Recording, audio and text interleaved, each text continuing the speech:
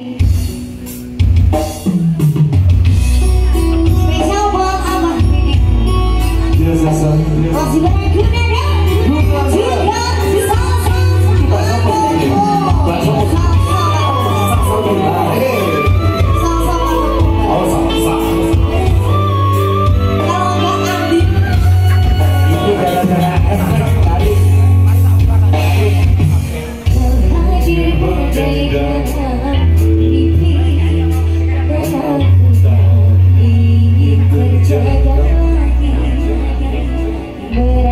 Jesus, I am with.